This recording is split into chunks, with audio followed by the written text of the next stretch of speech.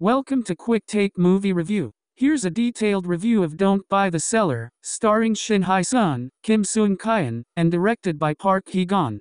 Don't Buy the Seller follows an office worker who gets scammed while buying a second-hand washing machine. She exposes the seller online, only to discover that he is a psychopath and serial killer. Watch this review until the end to find out if you are the target audience. Don't Buy the Seller may follow the familiar template of a serial killer movie, but its unique premise sets it apart.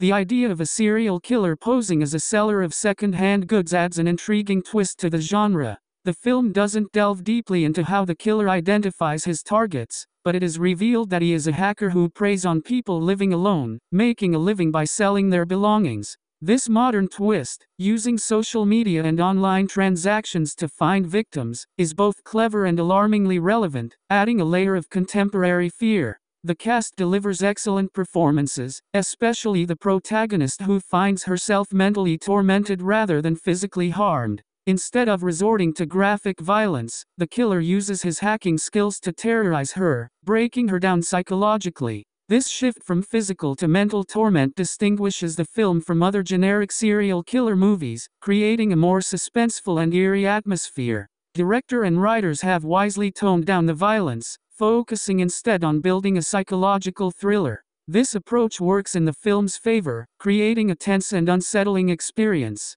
However, some portions of the movie feel tonally flat, which slightly hampers the overall impact. Don't Buy the Seller excels in creating a chilling scenario where everyday activities like buying second-hand items online can lead to terrifying consequences. The use of modern technology and social media as tools for the killer is a smart update to the genre, making the story more relatable and frightening. Overall, Don't Buy the Seller is a solid thriller that offers a fresh take on the serial killer narrative. It's a good one-time watch, especially for those who enjoy psychological thrills over gore. The film effectively uses its unique premise and modern fears to deliver a suspenseful and engaging experience. If you enjoyed the movies highlighted here, Don't Buy the Seller will likely appeal to you with its similar plot and sensibilities. Don't forget to subscribe to our channel for more quick take reviews and recommendations. Peace to all.